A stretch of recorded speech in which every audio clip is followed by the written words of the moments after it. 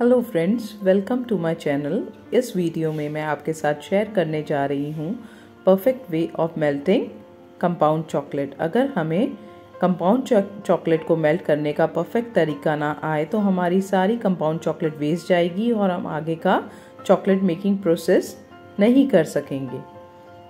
इसलिए आप मेरे वीडियो को एंड तक ज़रूर देखिएगा, क्योंकि इस वीडियो में मैंने बहुत सारे टिप्स और ट्रिक्स शेयर किए हैं, जिससे आप परफेक्टली चॉकलेट को मेल्ट कर सकेंगे और घर पर ही ब्यूटीफुल पिनाटा केक और ड्राई फ्रूट्स चॉकलेट्स और भी कोई चॉकलेट्स अपने बच्चों के लिए आसानी से बना सकेंगे।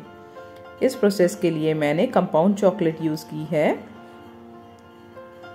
मिल्क कंपाउंड चॉकलेट 100 ग्राम और डार्क कंपाउंड चॉकलेट 100 ग्राम मैंने दोनों की क्वांटिटी सेम रखी है, क्योंकि ये दोनों की क्वांटिटी सेम रखने से जो आगे की चॉकलेट्स बनेगी, वो बहुत ही टेस्टी बनती है। आप इसकी क्वांटिटी कम या ज़्यादा भी कर सकते हैं। मैंने तो मेल्टिंग प्रोसेस दिखाने के लिए ये वीडियो बनाया है। ये चॉकलेट्स थोड़ी हार्ड होती हैं, इसलिए इसे ध्यान से काटें और जब इसे काटें तो इसके टुकड़े बिल्कुल छोटे छोटे करें, क्योंकि जितने छोटे पीसेस होंगे, उतनी ईजिली ये मेल्ट हो जाएगी। ये चॉकलेट्स आपको इजीली कोई भी ग्रोसरी की शॉप या उस शॉप से ले सकते हैं जहाँ केक मेकिंग का सामान बहुत इजीली मिल जाता है। मैंने ये ऑनलाइन परचेज की है।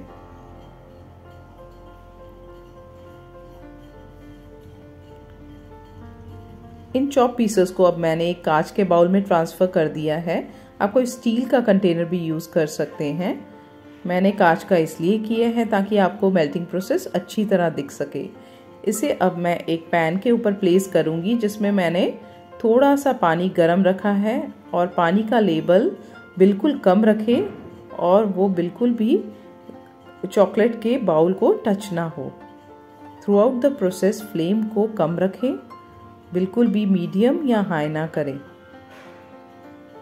इस प्रोसेस के दौरान हमें चॉकलेट को कंटिन्यूसली हिलाते रहना है ताकि ये इवनली मेल्ट हो जाए।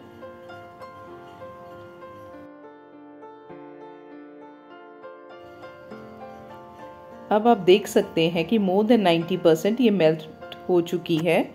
इसमें थोड़े थोड़े लम्ब्स दिख रहे हैं।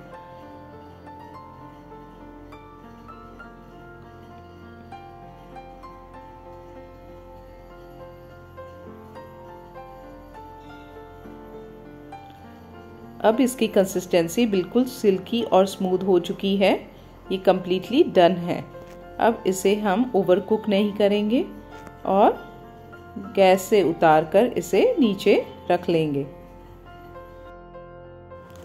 अगर हमने चॉकलेट्स बनानी है या पिनाटा केक बनाना है तो इस मेल्टेड चॉकलेट को इमीडिएटली हम यूज़ करेंगे जब ये गर्म हो। ठंडा होने के बाद ये बिल्कुल हार्ड हो जाएगी। और सेट भी नहीं हो सकेगी। होप इस वीडियो को देखने के बाद आपको चॉकलेट मेल्टिंग का प्रोसेस अच्छी तरह आ गया होगा।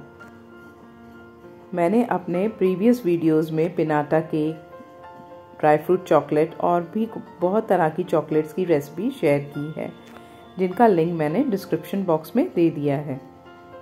आप उन वीडियो को देखकर इजीली घर पर अपने बच्चों के लिए यमी चॉकलेट्स बना सकेंगे।